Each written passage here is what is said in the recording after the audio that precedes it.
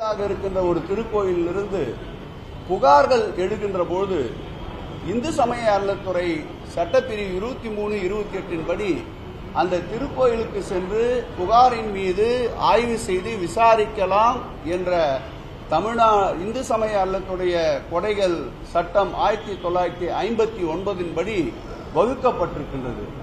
ஆகவே வந்திருக்கின்ற புகார்கள் அடிப்படையில் விசாரிப்பதற்கு வருகிறோம் என்று கடந்த முப்பதாம் தேதி இந்து சமய அறநிலைத்துறை ஆணையாளர் அவர்கள் சட்ட திட்டங்களை மேற்கோள் காட்டி கடிதம் அனுப்பியிருந்தார். தீட்சிதர்கள் அந்த திருக்கோயிலை நிர்வகிக்கின்றவர்கள் ஒன்றாம் தேதி அதற்குண்டான ஆட்சேபனை தெரிவித்து கடிதம் அனுப்பியிருந்தார்கள். அந்த ஆட்சேபனைக்கும் உரிய பதிலை நம்முடைய துறையின் சார்பில் மூன்றாம் தேதி திரும்பவும் அனுப்பப்பட்டிருக்கின்றது. ஆகவே உரிய சட்டத்திட்டத்தின்படிதான் இது சட்டத்தின் ஆட்சி என்பதால் சட்டத்திட்டத்தின்படிதான் எழுந்த புகார்கள் குறித்து ஆய்வுக்கு சென்றிருக்கின்றார்கள். மடியிலே கனமில்லை என்றால் வழியிலே பயம் இல்லை என்பார்கள்.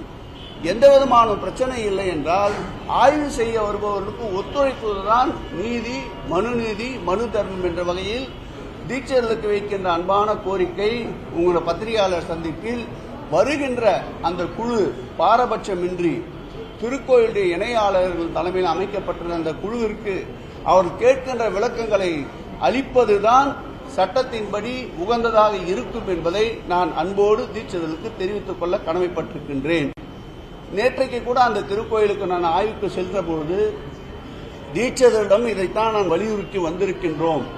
உங்களுடைய திருக்கோயிலை நாங்கள் இந்து சமய அல்லத்துறை எடுக்க வேண்டும் என்பது குறிக்கோள் அல்ல.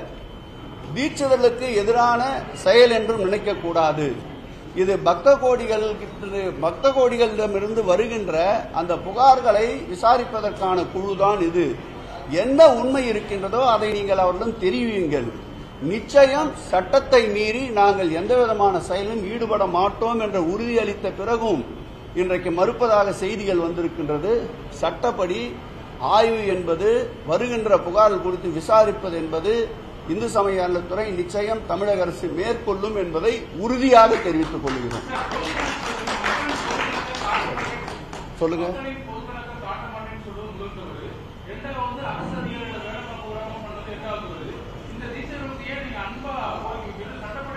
நேற்றைக்கு வைத்த அன்பான கோரிக்கை இன்றைய நிலையை உரிய சட்ட வல்லுநரோடு ஆலோசித்து மேற்கொண்டு என்ன நடவடிக்கை என்பது மாண்புமிகு தமிழக முதலமைச்சருடைய கவனத்திற்கு கொண்டு சென்று அதன் பிறகு அது குறித்து மேற்கொண்டு என்ன செய்யலாம் என்பதை துறை அரசு முடிவு செய்யும். உடனுக்குடன் செய்திகளை தெரிந்து கொள்ள சன் நியூஸ் பெல் ஐகானை கிளிக் பண்ணுங்க.